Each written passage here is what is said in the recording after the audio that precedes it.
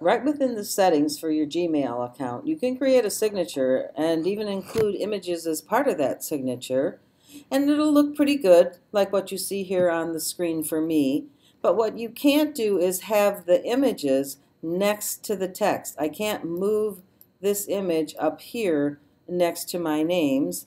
And this does not make for the best look and feel uh, for my signature. And especially if you have certifications where you want to add the images for those, um, then they're just all going to be stacked in a long uh, column going down the page uh, for your signature. So there's a workaround for that issue, and that is to create your signature in a Google Doc. So I have a Google document, and I recommend if you're going to do this that you name your document like mine, Gmail signatures, then it'll be really easy for you to find um, if you want to update it and make new signatures. Uh, so um, go ahead and do that. And then the next thing you want to do is you want to insert a table.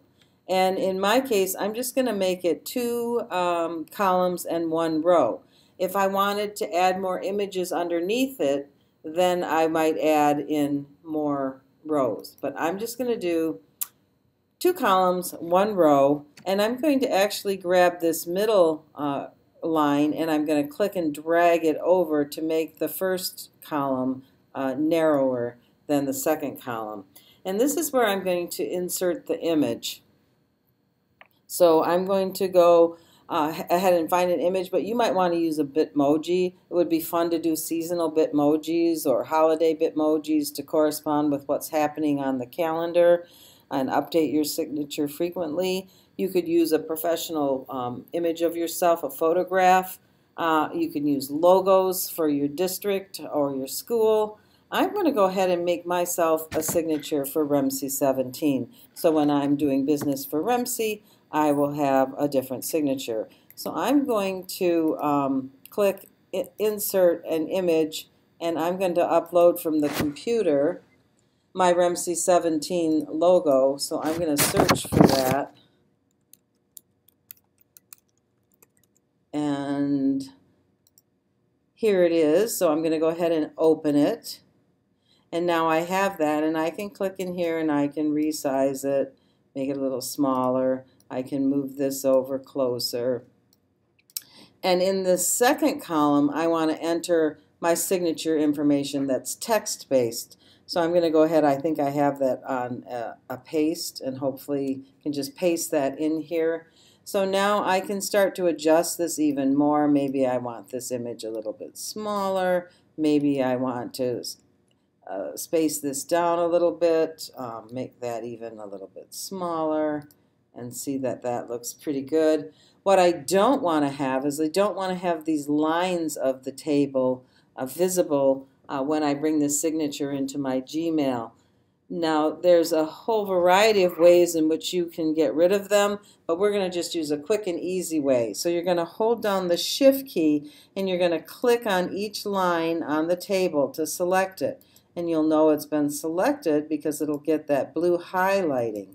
I'm just going to select all of them.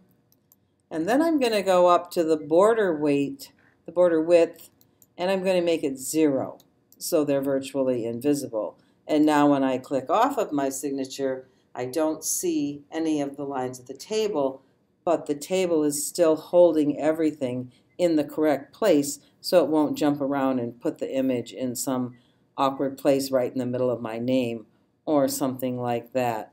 So now I'm going to copy this and bring it into my Gmail. So I can go up to edit and choose copy or I can use keyboard shortcuts. Any way that I want to, I want to copy this. And now I'm going to go into Gmail.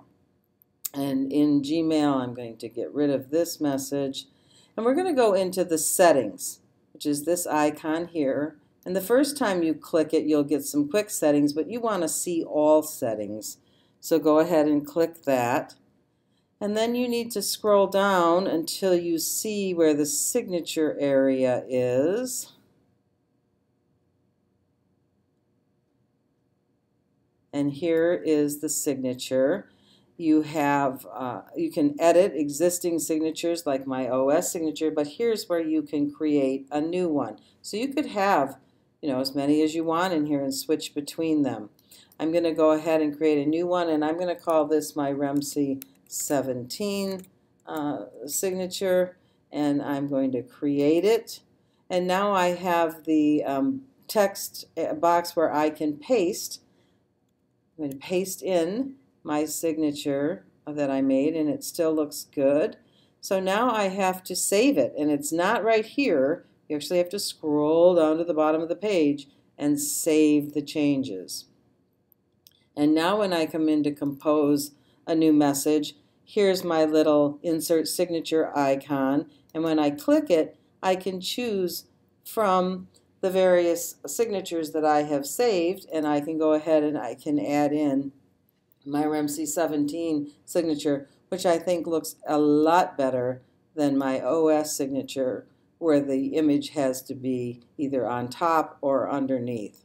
So um, I hope that you will enjoy making attractive signatures and even perhaps adding different certifications below. Um, quick, easy, and very professional uh, look for you.